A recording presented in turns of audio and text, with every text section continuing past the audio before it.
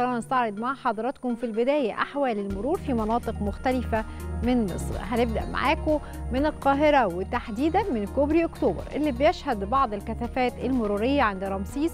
هتبدأ تقل لحد ما نوصل لغمرة. بالنسبة لكوبري 15 مايو متجه المهندسين عليه كثافات مرورية نسبية. أما شارع بورسعيد من نزلة كوبري أكتوبر بيشهد سيولة مرورية لحد منطقة الزاوية الحمراء. كمان بتظهر بعض الكثافات المتحركة على الكورنيش من المعادي وصولا إلى مناطق وسط البلد ومن أثر النبي حتى القصر العيني. وفي برضو بعض الكثافات البسيطة بشارع رمسيس وصولا إلى العباسية وبمحور النصر حتى المنصة. كمان في في شارع عباس العقاد وطيران وأماكن غلق الإشارات بالميادين منها ميدان التحرير وروكسي وميدان المستشار هشام بركات. نروح معاكم لمحافظة الجيزة الطريق الدائري بيشهد سيولة مرورية باستثناء. الكثافات عند النزلات وبخصوص كمان محور 26 يوليو بيشهد سيولة مرورية. لكن الطريق المتجه للمهندسين هنلاقي فيه بعض الكثافات قبل طلعة الدائري وميدان لبنان لحد نادي الزمالك. كمان شارع فيصل بيشهد كثافات مرورية. الكثافات دي بتزيد مع ساعات الذروة الصباحية.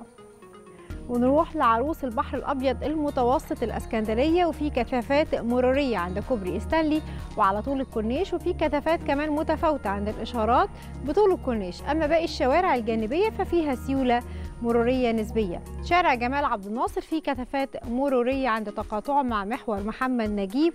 ونفس الموضوع في شارع عبد السلام عارف اللي بيشهد كثافات مرورية لكنها متحركة. ونكمل جولتنا المرورية وهنروح أسوان وهنبدأ من شارع السادات لحد ما نوصل لمنطقة المسلة واللي بتشهد سيولة مرورية على طول الشارع. كمان هنلاحظ إن في كثافات مرورية بسيطة لحد ما نوصل لمحطة القطار اللي بيشهد الطريق حواليها كثافات مرورية. كمان أيضا في كثافات في شارع الحدادين وشارع الإمام الشافعي والطريق المؤدي إلى مستشفى أسوان الجامعي في بعض الكثافات المرورية. ومن جولتنا في شوارع مصر المختلفة اطمئنان على حالة المرور. خلونا نطمن مع حضراتكم عن حالة الطقس النهاردة. وبتتوقع هيئة الأرصاد الجوية أن يشهد اليوم طقس حار رطب نهارا على أغلب الأنحاء مائل الحرارة رطب ليلا على أغلب الأنحاء أيضا.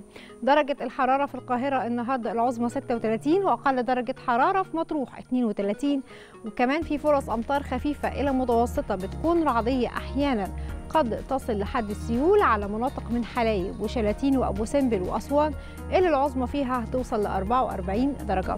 هنتابع مع حضراتكم الطقس بالتفصيل لكن بعد شوية.